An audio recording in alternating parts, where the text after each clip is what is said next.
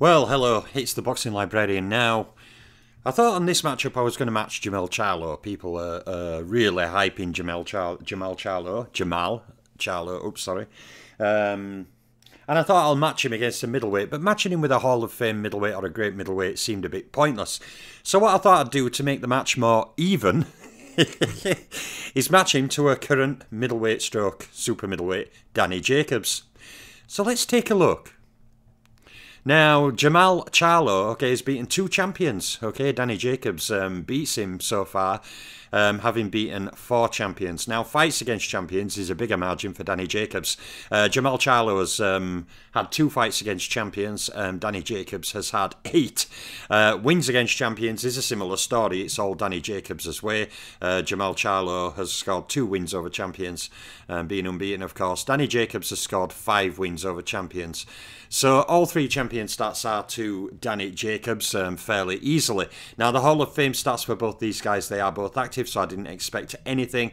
Um, we'll have to wait a number of years, okay, before we see if any of the guys they fight, probably less in Charlo's case, uh, join the Hall of Fame, whereas Jacobs may get Golovkin, uh, Canelo, etc. But all those stats are drawn. Zero zeros on Hall of Fame fights, zero zeros on Hall of Famers beaten, um, and zero zeros in wins over Hall of Famers. So it's fair to say uh, that neither fighter has done anything on there, but the slide pretty much goes to Danny Jacobs. He's won the first three starts rather clearly. And this kind of this matchup will show what would happen because I'm matching Jermall Charlo to a fighter who's not an all-time great or has a great middleweight resume um, per se, matched against the other great middleweights in Danny Jacobs. Um, but this matchup is quite stark, um, and we'll highlight one thing by the end. So let us leave that. Okay, let us go on to title fight stats. Now, uh, Jermall Charlo has had six world title fights. Okay, Danny Jacobs comes in with nine. Um, but in title fight wins, Jermall Charlo manages to get the draw. Okay, um, he's won six world title fights. Danny Jacobs also has won six. Now, in title defences, Jermall Charlo has a slight edge. He's made five title defences so far. Danny Jacobs has made four. And in world titles won, okay, um, they've both been two-time champions. Charlo at light middle and middle, Jacobs two-time middleweight.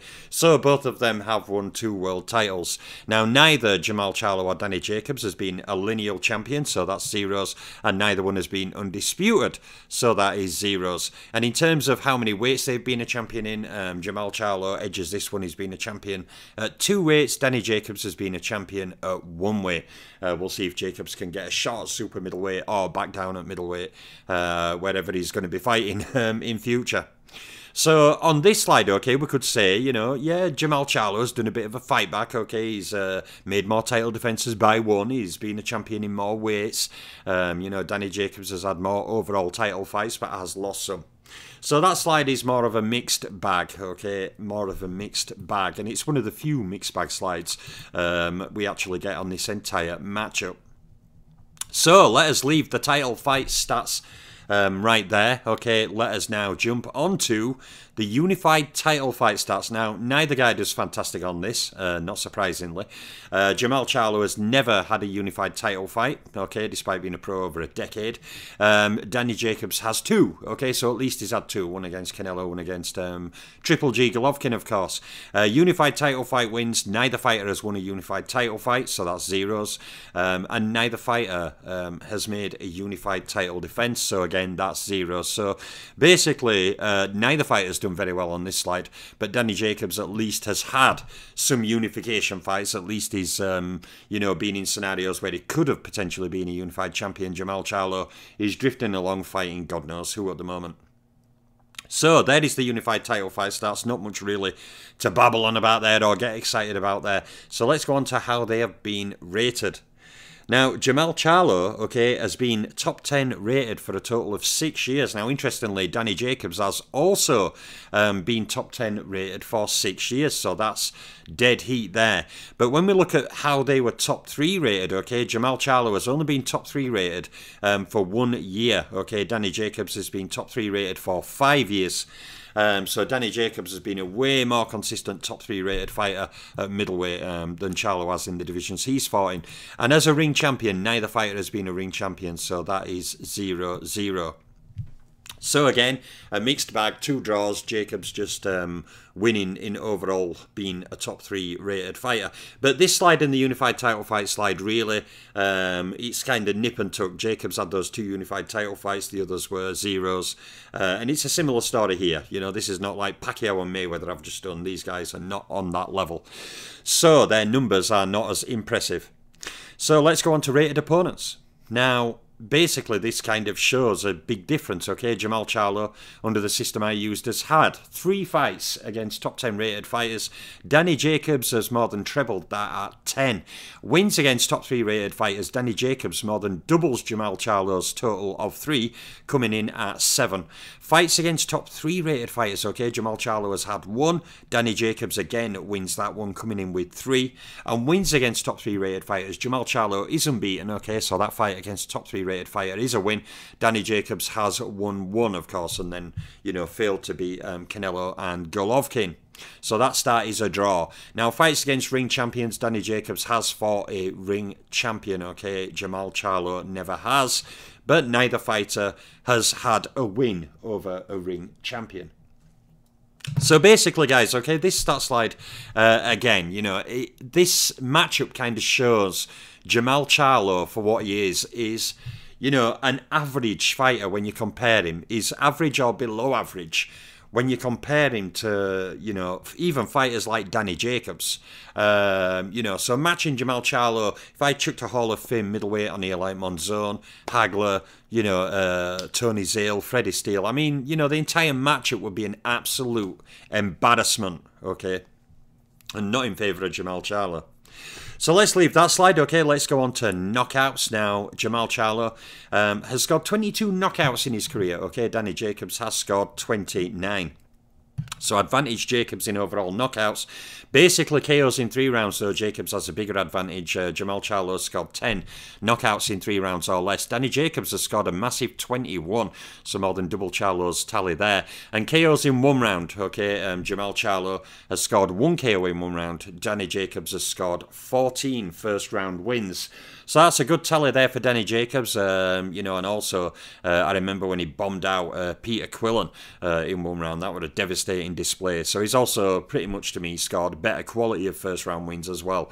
Um, when you look at Charlo's resume, it's not hard to figure that one.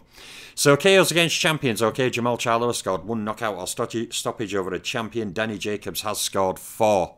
So advantage Jacobs again. And KOs against Hall of Famers. From first slide, neither has fought a Hall of Famer, so they have zero KOs over Hall of Famers. And KOs in title fights. Okay, it's narrow advantage Danny Jacobs at the moment. Uh, Jermall Charlo scored four KOs in title fights. Danny Jacobs comes in um, with an overall total of five.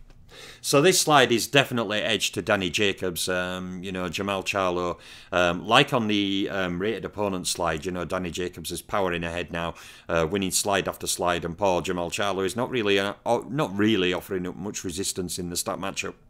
So let's go to the pound for pound slide, a very sad and depressing slide. As you can see, okay, neither of these guys has really, you know, lit the touch paper, so to speak, on this one.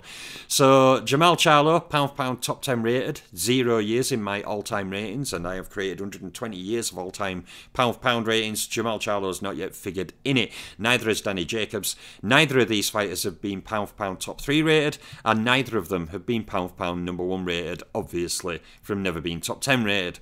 So the first three stats are drawn. Individual pound for pound has beat. Neither fighter has beaten a fighter rated in my all time pound for pound ratings.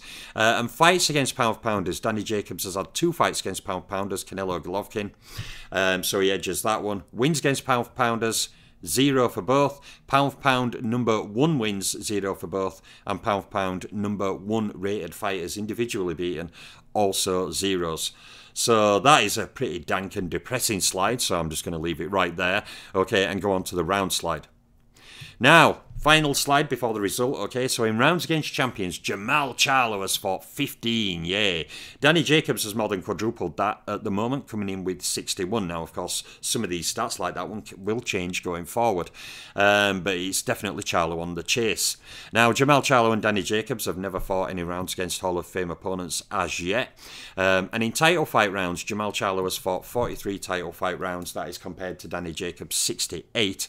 And in ring rating points, the system I created created to show uh, where they gain points for what position they were rated each year. They were rated. Jermall Charlo um, has scored 40 ring rating points. Okay, Danny Jacobs has come in so far with 61.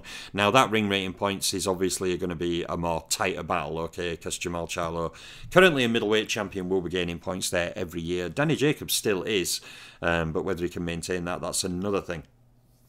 So there is the end of the stat matchup. This hasn't been the greatest stat matchup in terms of great figures and closeness of huge amounts, uh, but it does kind of show that Jermall Charlo, when people talk him up and hype him up, is not even doing as well on these stats as Danny Jacobs, who's not even talked and hyped up. If you understand where I'm coming from.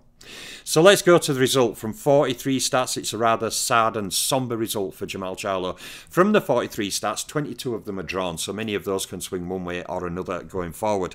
But in terms of stats won from the 43, Jermall Charlo wins Danny Jacobs on two stats. Uh, Danny Jacobs thrashes him, winning on 19 stats. Now, like I said, many of those stats in the draw category of 22 could swing one way or another going forward, okay? But I think it's fair to say that Jermall Charlo has to do a lot of work to build his statistics up in a statistical sense only. He's got to do a lot of work before he can even be compared to Danny Jacobs. So it kind of shows where he is um, in the cold light of day. He gets thrashed by a middleweight contender. I'm out.